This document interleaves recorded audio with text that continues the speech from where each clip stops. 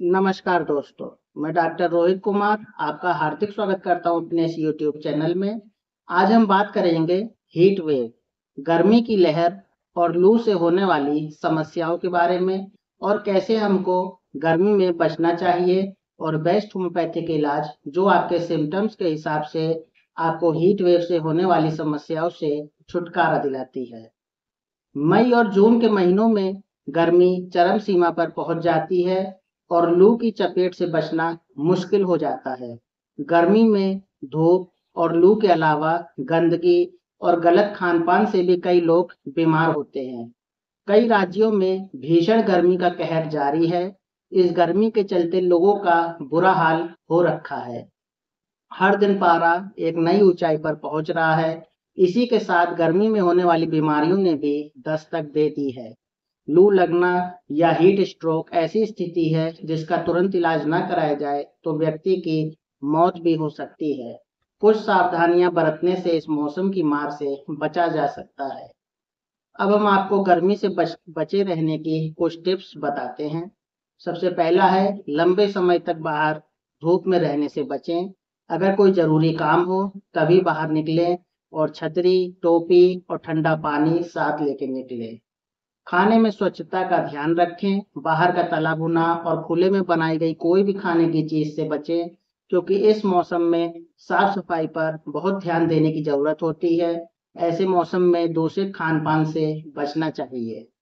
अगला है लिक्विड चीज़ों का ज़्यादा सेवन करें। जितना ज़्यादा हो सके, उतना लिक्विड डाइट का प्रयोग करें, जैसे नींबू पानी, गन्ने का रस आदि। इस चीज़ का ध्यान दें कि ये सब ठंडा हो, बर्फीला नहीं।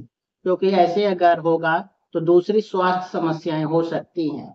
इस गर्मी में मौसमी फलों का जैसे खरबूज, तरबूज, आम, ककड़ी का सेवन ज़रूर करें। गर्मी में अधिक खाना खाने से परहेज करें। इससे अच्छा आप अपने दिन की शुरुआत मीठे और रसीले फल से कर सकते हैं, जिसमें चीकू, खरबूज और संतरा एक अच्छा विकल्प है। प्याज और खीरा सलाद के तौर पर ज़रूर खाएँ, क्योंकि इसमें पर्याप्त मात्रा में पानी पाया जाता है। गर्मी में बाहर निकलें तो अधिक डार्क रंग के और टाइट कपड़े ना पहने, इससे पसीना अधिक आता है। डार्क रंग के कपड़ों में गर्मी अधिक लगती है।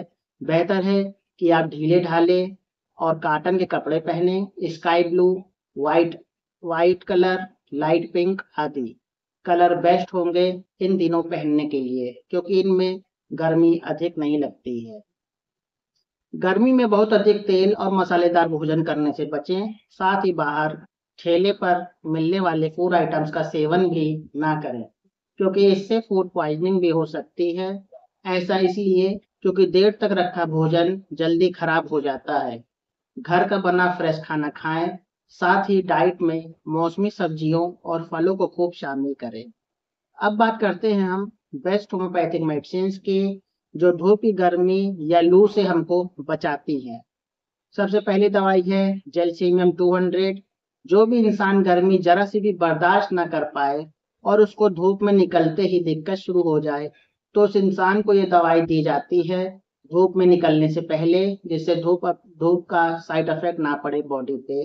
जेलसीमियम 200 अगली दवाई है ग्लोनाइन 200 ये दवाई का सिम्टम है अगर धूप में जाने के बाद रोगी को तेज बुखार आ जाए या बेहोशी की हालत हो जाए धूप के कारण, तब ये दवाई दे सकते हैं।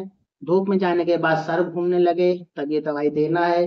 ग्लोनाइन 200 अगली दवाई है नेट्रम्योर 200 ये बहुत अच्छी दवाई है सन स्ट्रोक की, और अगर सर दर्द स्टार्ट हो गया हो धूप में जाने से, तब ये दवाई सोच सकते हैं। नेट्रम्योर 200 अगली दवाई है पल्सटीला 200 अगर धूप में जाने से पूरे शरीर में खुजली स्टार्ट हो जाती है, तब पल्सटीला दवाई देना है। साथ साथ नारियल तेल भी हल्का सा लगाना है, जहाँ भी इचिंग हो रही हो।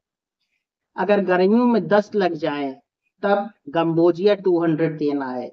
अगर गर्मी की वजह से दस्त लगने लगे, तब गम्बोजिया टू हंड्रेड दे सकते हैं। अगर गर्मियों में फ़ूड पॉइजनिंग हो गई हो तब दस्त स्टार्ट हो जाए फ़ूड पॉइजनिंग के कारण, तब आर्सेनिक थर्टी देना है। अगर फ़ूड पॉइजनिंग हो गई हो डायरिया खूब ज़्यादा हो रहा हो, तब। अगर गर्मी से आने के बाद उल्टी और सरदर्द हो रहा हो रोगी को, तब इपिका 200 या ब्रायनिया 30 दे सकते हैं। अगर रोगी को उल्टी होने लगी हो गर्मी से आने के बाद से।